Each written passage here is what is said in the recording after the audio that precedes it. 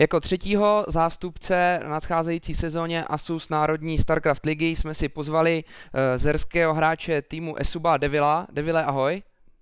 Čau Smouku, čau všichni. Uh, jsme tady kvůli tomu, aby jsme rozebrali uh, nadcházející sezónu a tvoji skupinu, ale nejdřív se vrátíme k tomu, v jaké aktuální formě se teď nacházíš. Ty celkem seš úspěšný v turnajích, tak kdybys mohl krátce zhrnout, co se ti teď povedlo? A takže, takže ta forma, já si nějak tak nějak snažím se jí zvedat a celkem se mi to daří a, a vlastně tento týden počátkem neděle to tak nějak jakože narostlo e, do nějakých výšin, kde už jsem vyhrál i nějaký peníze. Zadařilo se mi v neděli, kdy jsem vyhrál že ten slovenský turnaj, tam jsem vyhrál 35 eur. Mm-hmm. A hned, hned na to v pondělí jsem trefil Gamecrats turnaj, který je pravidelný pro, pro top evropský hráči, nebo pro všechny evropský, ale účastní se pravidelně i ti úplně top. Mm-hmm. Dám příklad, já nevím, Nerčio, Dimaga, prostě takový ti všichni, takže ten, ten jsem vyhrál. Super. Uh, 100 eur prostě padlo, super.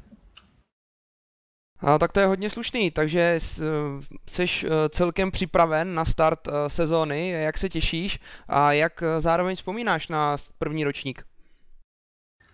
Tak na, na první sezónu nesl vzpomínám strašně rád, protože to bylo prostě, od vás to bylo organizačně super, líbilo se mi systém, všechno, jako tam není moc co vytknout, možná trošku škoda, že vlastně byl jak nějaký první turnaj, pak druhý turnaj a, a, a pak když došlo k tomu finále, tak vlastně jsem to nezvládl.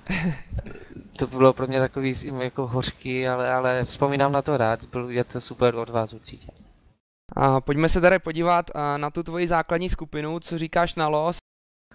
No, tak ten los asi mohl být trošku jakože jiný, lehčí třeba, ale, ale Eh, u mě to už asi jiný nebude, já prostě dostanu ten los takový, jaký dostanu a je jenom na mě, jak se s tím poperu a já se určitě budu snažit postoupit z prvního místa.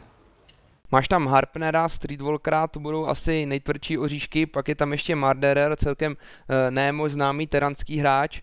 Tak Harpner, který teďka vyhrál že jo, SVC kvalifikaci a má, má tu formu najetou taky strašně vysoko, tak ten eh, ten se určitě bude chtít prát o top 3 v celé lize. A já nebudu zůstávat pozadu, já chci, chci, chci tuto vyhr, ligu vyhrát a prostě pokud mě zastaví Harpner a Street, tak, tak ji nevyhraju, takže to se může stát. A vlastně třetí hráč, ten Marder, tak toho vůbec neznám. Myslím si, že jsem viděl snad jenom jednu nějakou hru, kterou hrál a, a nevím, uvidíme, uvidíme. Uh-huh. Ty z pozice nejlepšího českého zerga, eh, jak se těšíš na výkony svých eh, kolegů? Máme v základních skupinách ještě dva zergy, a to Petrose a Kejrase. Tak myslím si, že, že od dob vlastně první sezony se zerská úroveň tady v České republice dost zvedla a jsem za to rád samozřejmě. Jo, jo. A, a Petros předvádí poslední dobou dobrý hry a, a jde vidět, že se snaží a já mu to přeju a byl bych rád, kdyby že jo, se dostal ze skupiny určitě. A Kejras toho moc nesleduju, ale taky prostě, že jo, kvalifikoval se, takže eh, něco v sobě má, takže uvidíme a eh, škoda trošku možná, že Tomikus nepostoupil. Mm-hmm. To nás taky celkem mrzí, nicméně tři Zergové určitě budeme pečlivě sledovat. Pojďme se teď podívat na věc, kterou, která se teď hodně probírá a to je matchup právě Zerga proti Protosovi. Jak to vypadá z tvého pohledu? Uh, proti Protosovi prostě je to, je to dost těžký. Uh, myslím si, že late game proti Protosovi můžu hrát, tam mám jakože hodně solidní, ale, ale dělají mi problém takový ty, prostě když, když Protos si může vlastně expandovat jakoby první expanze a na to navázat nějakým 7 gatem, 8 gatem nebo 6 gatem s blinkem a vlastně to je, to je asi to nejtěžší pro Zerga tady tohle ustát a nějak, aby nebyl ekonomicky pozadu. Nejen, že to ubránit, ale vy to můžete ubránit, ale ten protos prostě si udělá druhou expu a je, je to pro mě dost těžké teďka, ale s tím, že ve světě vlastně žádný protos nedominuje, což je zajímavý. Takže je to těžký, ale na late game si určitě věřím proti protosovi. Uh-huh.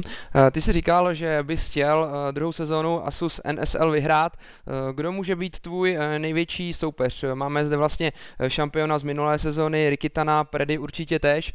Nebude chtít zůstat pozadu? Tak já si myslím, že to top 4, když si mám z té minulé sezóny, tak nebude stejné jako, nebude stejné jako v té minulé sezóně, bude jiné. A ti top hráči jsou tu vlastně všichni je trošku škoda, že můj kolega Lopata se nedostal, aspoň myslím, že tam není, mm-hmm. takže to, to je určitě škoda, ale, ale uh, určitě je tam Rikitan, je tam Predy, je tam Harpner a Headhunter. Ti ostatní asi můžou spíš jen překvapit, že, že ta top 5 bude taková prostě, jaká je. A každý ví, jaká je. Uh-huh. A teď ještě uh, pro zajímavost na závěr, uh, co říkáš na nadcházející database na StarCraft 2 a uh, sleduješ třeba, teď Blizzard uh, odhalil siluetu nové zerské jednotky, tak třeba jestli uh, ty odhaduješ, co tam můžou zergové mít v tom datadisku? Tak viděl jsem ji jen tak zběžně, jak jsem to neskoumal. Mm-hmm. Snad to nebude nějaký další švábník nebo nějaký takový. a, a jinak na datadisk se těším, snad tam přibudou nějaké změny k lepšímu, a, ale jinak dokud nepřijde, tak nemá smysl to podle mě nějak řešit. Mm-hmm. Dobrý, tak my se jenom budeme těšit na tvoje zápasy a přeji hodně štěstí. Tak díky a měj se.